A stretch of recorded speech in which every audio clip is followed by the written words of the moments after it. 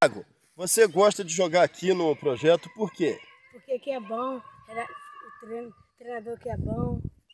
Aí você, Davi? Aqui é bom também.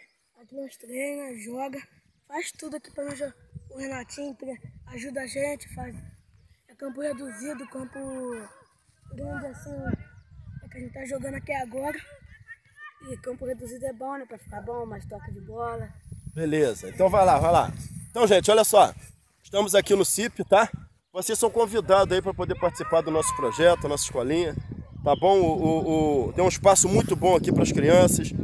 Tá ok? Todos vocês aí, nossos amigos aí, que têm filhos aí, traz aí para poder participar do nosso projeto. Valeu? Um abraço a todos vocês aí.